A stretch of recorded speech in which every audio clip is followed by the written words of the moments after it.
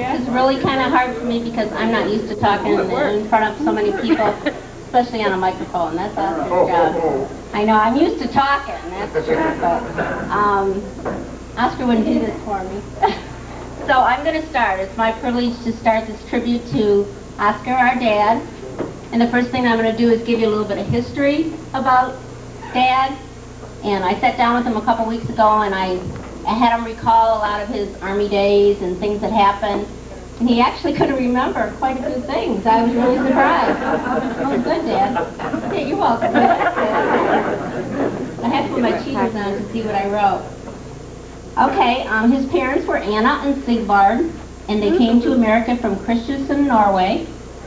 And they had gotten married in Norway, and they had their honeymoon in the USA.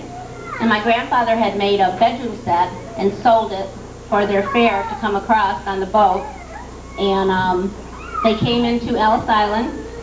Then they um, had cousins and relatives in Detroit. So they came to Detroit and they never left. So this is how they got to America. His name used to be spelt with double A S B O. And on his birth certificate over there, it still is spelt like that, but my grandfather changed it because instead of saying Osbo, they used to call him Asbo. And my grandfather didn't like it, so he, he changed it. And I think um, Dad and Grandpa are the only ones that still have a double ASBO on their um, birth certificates. I think it was changed. There's still the Asbo. Yeah. The Asbo. So Dad was born one year later at Detroit Providence Hospital. He's the eldest of five children. There was four boys and one girl. There was Dad, Uncle John, who couldn't make it. He's um, sick. He lives in Florida. Um, Dad had brothers Arthur and George, and then they had little Betsy, the baby of the family over here. She came all the way from Florida for us. And uh, his family moved to Royal Oak in 1926, and Dad started kindergarten at Addison Elementary. It was a little two-room schoolhouse, he told me. And when he was nine years old, there was just a terrible tragedy in my um, grandparents' family. Both of her sons, George and Arthur, got strep throat, which is something so simple, and they both died within 10 days of each other. They were five and two. So I don't know how my grandma went on after that, after 10 days losing two children, but she did. She had a little Betsy. So um, they were happy they got a girl into the family. So Dad was about nine. I think you were 10 when Betsy was born. Let's see, I was born on the boat from the ocean. You were not. You were conceived on the boat, maybe, but not born on the boat. Oh. Jeez, this is my seat. Wait. You'll have time. I said, then we have a discrepancy because when Betsy got here, I said, Dad told me all this stuff. Is this true? Is this true? And she's like, well, I don't know. I don't remember that. But Dad said when Betsy was born, she was the only one born at home. And um, Betsy says, think I was born in a hospital. I don't remember. Dad said, you were born at home, because I remember that um, he said his mom and dad gave him and Uncle John some golf putters and sent him out in the front yard and said, you go play now, we're having a baby. so he did. They were out playing in the front yard. I don't know how long they played in the front, front yard. Until it was over. I guess there you go. So, um, a few a few years later, they moved to Mount Clemens. Dad was 15, and he went to Stafford School and then to Mount Clemens High School. He never left. He's been here for his whole life.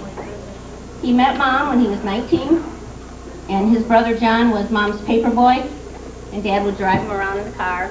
Yeah. Okay, all right, I'm back. Here I am. Um, Uncle John was their paper boy in the family, and they lived at 14 in Gratiot, and uh, they dated for about a year and became engaged. And Dad said that he took her to the old Jew Theater. If you're a Mount Clemens person, you know where the old Jew Theater was. And they were watching a movie called Hellzapoppin'. And that's how they celebrated their engagement. And while they were there, it came on the screen that Pearl Harbor had been bombed. It was December 7th, 1941. And Dad started a new career after that day. He got a letter saying, greetings, you will report for service. So on August 11th, 1942, he entered the Army. He was 5 foot 11 and a half inches tall, 20 years old, and he weighed 121 pounds. So, so he always says when he was in the Army, that's how he never got shot at, because he just turned sideways, nobody could ever see him. So we can't say that now, but that's how it was then. So he did a 90-day basic training in Georgia, and while he was there, he said he sprained his knee, and he got water on the knee, and he was hospitalized for 11 days. I was very concerned because I thought, oh, that rigorous training, he must have really had some terrible times. And he said, no, he got hurt while he was sliding into second base playing a baseball game. so I didn't, I wasn't very sympathetic after that. And while he was there, he, um, mom came to visit him, then his fiance. And while he was there, he got orders, shipped out, went overseas. So he caught a boat to Africa, was his first place he went. He was a private in the Big Red One. He's very proud of his service days, and so are we. During World War II, he fought for our country in Africa, Sicily, England, France, Belgium, Germany, and Czechoslovakia. And on June 1944, he was on the beach of Normandy for the Normandy invasion also. So then after that, he, the war was over in 45, and he caught a boat back to Germany. And he said when they pulled in um, in Boston, he said the bands were playing, everybody welcoming back all these soldiers of war. And he got a seven-day leave, made his way to Mount Clemens, back to his family and his fiancee. He was discharged in October of 45. He got seven weeks' pay of $20 a week. And, but he had saved $2,000 while he was over there. But Dad, liking the, the beer and the fun, he, he blew that money in a matter of, how long, Dad? Till it ran out, which was very quickly. Very quickly, he said. He said, but his, words were, but I sure had fun while it lasted. I can see that for sure. So I thank Dad for fighting for our freedom, and unless we were there, no one knows what these soldiers went through, and, and a lot of times they don't like to talk about it, but he has shared a lot of his stories with us.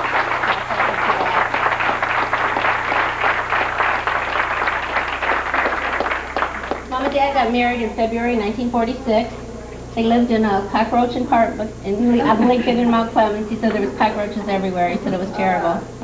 He returned to a building trade school in Detroit to finish his apprenticeship in carpentry. And um, he worked for Mr. Larson and Mr. Swee. I always remember him going to the cabinet shops and working there, driving forever to work. And he said whoever had work, that's where he was. He, he just, he worked all the time. We never knew. We never knew any I don't know, any problems, any financial problems, they always just, Dad did what he had to do for us kids, and we're thankful. Um, he had three wonderful children. Catherine, Oscar Jr., and Anne Marie. And some of my fondest memories are of our Thanksgiving and Christmas holidays that we spent with Bernice and Earl and Agnes and Derwin and Uncle Arnie and Mrs. G, and uh, those were our best times. And those are my, they were such a tradition. We always did uh, Christmas Eve and Thanksgiving. We switched off at different people's houses. And Aunt Dorothy and Uncle John, and uh, it was just the most wonderful time of my life. And I wish that we had traditions like that for our children to keep them going. But um, we did that with all our family, and so many of those people are gone now, so that just makes the memories even more cherished because those people can't be with us any longer. But, and also with mom's side of the family, we had some parties. parties with singing and playing the accordion and playing the harmonica. Uncle Bill with his harmonica, Dad on the spoons, people drinking, falling over. Oh, it was great. Singing songs. I said we learned all those Good Night Irene and oh, what are some of the other ones? Show me the way to go home. I Show me the way to go home. Yeah. Sunshine. You are my sunshine. So all of us kids know all the songs and we learned them from these parties. It was great. I learned how to play euchre and pinochle from watching Aunt Mary and Uncle Bill. And Dad, and every Saturday night, Mom and Dad and Mary and Uncle Bill, they would play pinochle and, you know. Wasn't it? I don't think, Idell might have Okay, come that's my sometime. memory. Okay, well, please, don't butt in on the memories.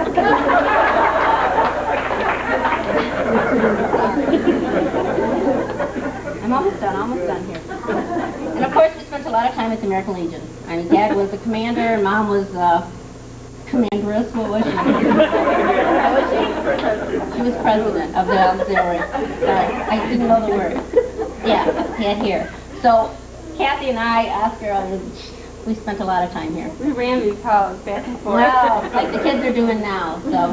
But Dad, been a- he's a lifetime member of the American Legion. He's, he's a very proud veteran, so, um, we come here. He doesn't come here as often as he used to. He used to live here, I think, but he's home now. So in sixty-four, Dad started working for Ford Motor Company until his retirement in eighty-four. He purchased his first home in sixty-four, and he still resides there today, the one on Clare Street. And in 1983, after 37 years of marriage, Mom died and life changed for all of us. We were devastated and thought Dad would be sad and lonely for, forever. But then Nelda came into his life. She was already in his life, but she came into his life in a different way. She was there for him. She comforted him. She gave him strength. Her kind heart and compassion won Dad's heart, and a mutual love grew. And they were married October 25th, 1985. Dad gained eight children, many grandchildren, great grandchildren. I should have asked you how many, but I know it's many. Many. Yes, and we're so glad that everybody's here. This is just a tribute to Dad. So their lives were entwined until her death in 95. And Dad's life again changed very drastically. He has had the love of two wonderful women, many children, grandchildren, great-grandchildren, all the relatives, friends. This is just shows you what a kind of a person he is. And as the years have passed, we've shared love, life, death. There's been happy times, there's been sad times. But I appreciate all the years that we've shared with Dad, every moment of his 80 years. He's a wonderful dad. I didn't want to do it. He's a wonderful dad. I have to read it. He's a wonderful dad. Let me see what else I said about him. Oh, he's kind and caring. And I have so much to thank you, for, dad. I thank God for him every day that he's given me, well, 50 years for me, but 80 years of his life. Such a good person. 51. about that, but somebody told me today that they thought I was the same age as Tootie. Not that Tootie's that old. She's a few years older than me, and they said, oh, you're the same age as Tootie, right? And I'm like, well, not quite. 20 more years. Like, not to tell your age or anything. But, yeah, but I'm 51, 20, oh, okay.